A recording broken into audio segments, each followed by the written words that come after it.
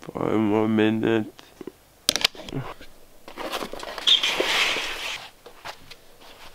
Day five of the ski trip. Here we go. So, last night was the pool party.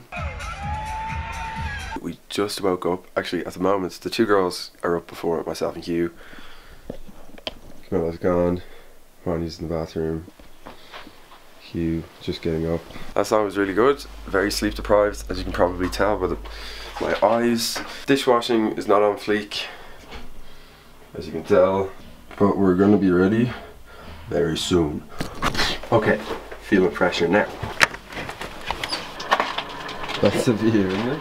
Go, wake up, wake up, wake up. Let's go, let's go, let's go. So, this morning, day five of the ski trip, and I've already said that. My three lessons are now finished. Uh, I may book another one, but for today I won't be. And we're going to be trying out some more difficult slopes. So there's four different categories of difficulty when it comes to slopes. There's green, which is the easiest. Then this is getting harder. Blue, red, black, and black diamond. So I tried out a green one yesterday. That was this. Today I'm going to try out some blues and greens as well. But they're on like a different side of the mountain. So you can probably go up and get some really cool views and just get some more interesting shots as well. Yeah, basically that's the story this morning. And now we're just going to get properly ready. This is close to my ski gear so you have your your Under Armour your fleece your base layer and then you put your ski jacket over this and your ski trousers on. And uh, I've also got my ski socks on which go up basically all the way up my leg. So um, let's get ready. Raindrops, drop top, drop top, smoking, no cooking, the hot pot, cooking, fucking on your bitch, yeah, that, that, that, cooking up dope in the crock pot, pot. We came from nothing to something, nigga. I don't trust nobody, grip the trigger, nobody. Call up the gang and they come and get gang. Cry me a river, give you a tissue. Bad and bullshit, bad. Cooking up dope with a Uzi. My niggas are savage, ruthless. We got thudders and hundred rounds too. My bitch is bad. Boom, right first step get a baguette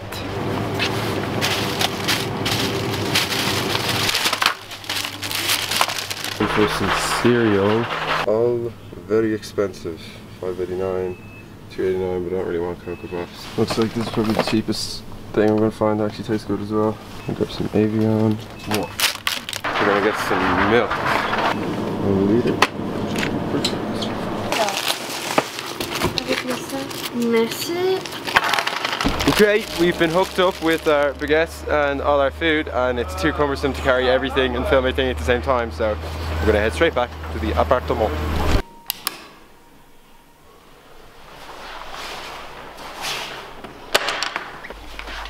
Oh, fancy meeting you here. So as you can tell from all the washing and stuff, we don't have a lot of cutlery to spare so I think I'm gonna do some washing up now. Just so I don't look like a loner, Hugh has to go now so Bye Hugh. We'll see him in the evening time. This ain't gonna be perfect, but let's try it. Three, two, one, boom. Okay lads, it's not perfect, right? But it is a lot better than when we started.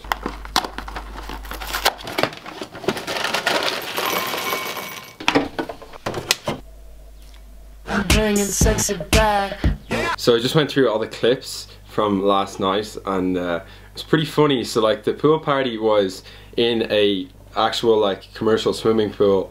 As you can tell from the footage it was very dark so I'm hoping that when I put it into the final cut that I can bring up the light in it a bit.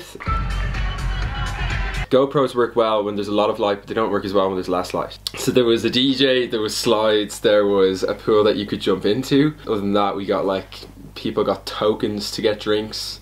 right everyone, so all that stuff is finished. Uh, meeting the guys in about 8 minutes, I really gotta hurry. And yeah, enjoy the GoPro footage. It's all you ever talk about. It's all you ever talk about. It's all you ever talk about. It's all you ever talk about. All you ever talk about. It's all you ever talk about.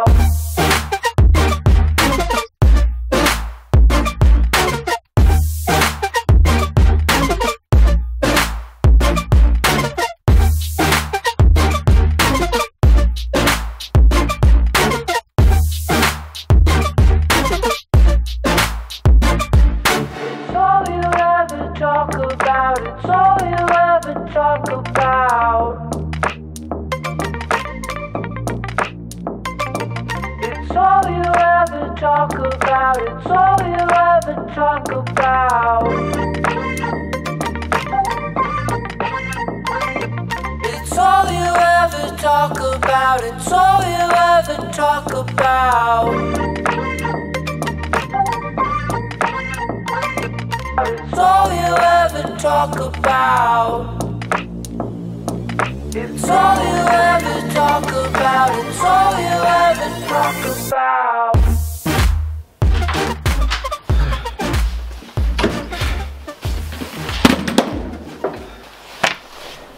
about. Man, I was like, I was like tiring. My pants, because of going in snow so much, were real heavy. So every time I walked down the street, my pants would be here, right, and then they just like slowly but surely like fall down. So it was like this.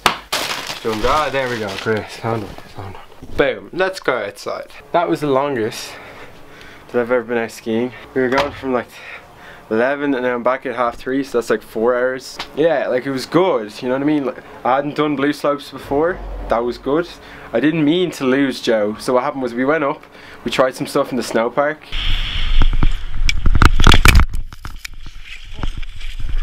I will say this, like I'm not good at skiing, but I'm good at getting back up.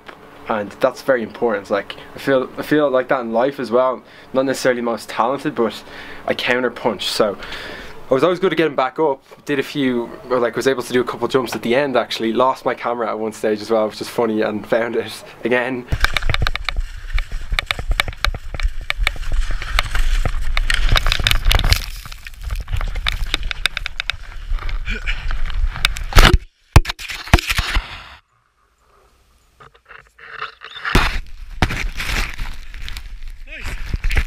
There was a point at which we were going to separate and then go to, uh, or sorry, go down the slope and go to a restaurant. But I think I went too far right at one stage and I went to the wrong restaurant and there wasn't any lift going back up to where I could go down again. So instead, what I did was go down the green and blue slopes. Fell a couple times, but it finishes up very far away from where our accommodation is. So basically, right, I was off with everyone this morning. We were doing fine. and um, there's this turn right right and Joe is like we'll go to the restaurant nearest the snow park. Now the snow park is where we're doing all the jumps. And I literally last time I saw Joe I was like I think I took a right.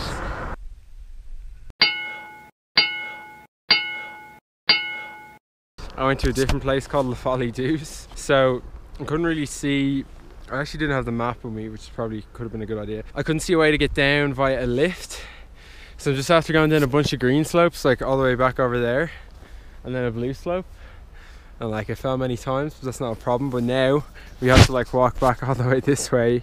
So as you can see from the GoPro clip, like I was quite far away, um, but luckily just about found the bus and that's free as well, so I got back. So I'm back now. Um, so yeah, we're gonna head off to après ski now. Après ski, obviously, if you do French, après means after. Après ski is where after skiing, there's a there's a pub called Cocorico, and you go and they have like bands there for a couple hours after people are finished skiing. They leave their like skis and poles and stuff outside, and you just have a drink and have a good time. Then go home, eat, sleep, nap, whatever, get ready for the night. So uh, we're gonna get ready for that now. And I just rewatched that footage there, and I look like I'm I got hit in the face, and I'm really really sad. But uh, yeah, that's just how you feel when you come off the slope because like I haven't drank any water in ages, so you feel real dehydrated and like sore in the head. And this is day five now, so we're all running on severe lack of sleep because um, you stay out really really late. So anyway, we'll stay positive. We've got a lovely chorizo sandwich here, which I'm going to chow down, as you can see. Voila! Oh god. Let's do a little cinematic sequence. I'm bringing sexy back. The motherfucker don't know how to act. Ah, my bum is wet. Get in there, sausage. Mm. Eventually. Okay, lads, ready. I don't have my shoes on yet, but anyway, gotta go to Cocorico now. See you there, bro.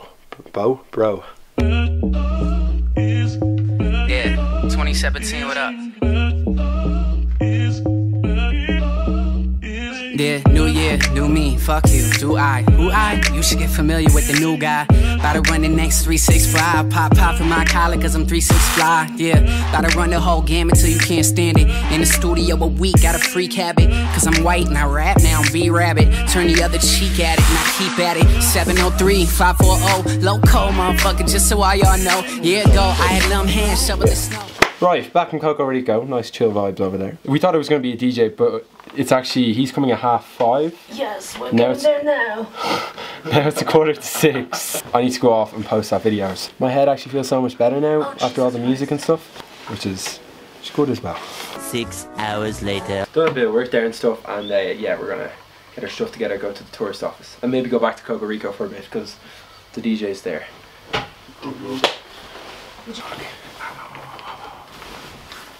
Right, after the tourist office.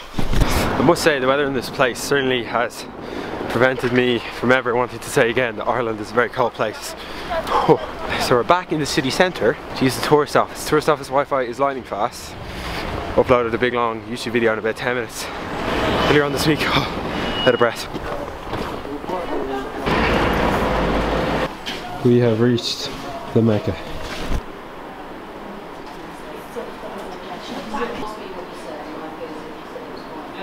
So yeah, I was half debating there whether or not I should go back to Cocorico's, but sent um, Hugh a text and he said that nobody's there. So um, what we're going to do is we'll do a little nice little cinematic return back to the apartment, but we won't go the shortest route. We'll go around whatever looks coolest.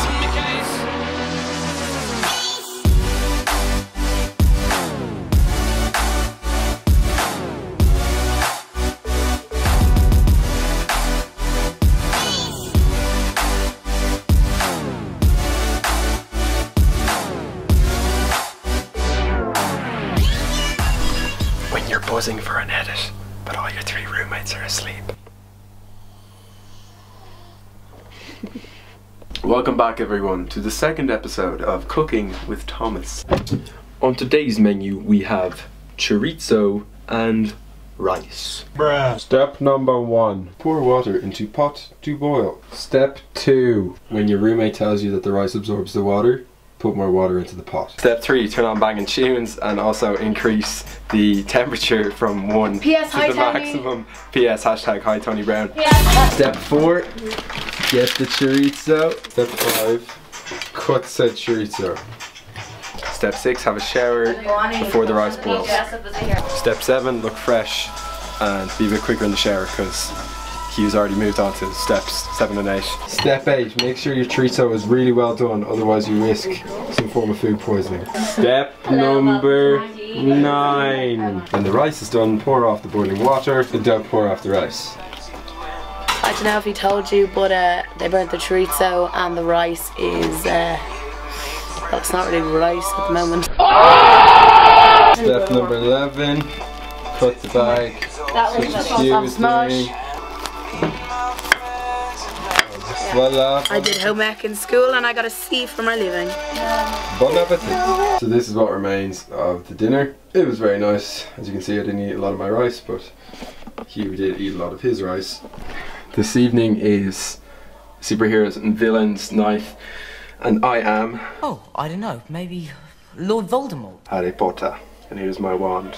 So everybody else be getting their makeup on. We got many heroes and villains with us this evening. Flash, Harry Potter, as you can see, Kung Fu Master, the Domino's Pizza Man, all of the above. So uh, yeah, I'll stick up some Snapchats of what goes on.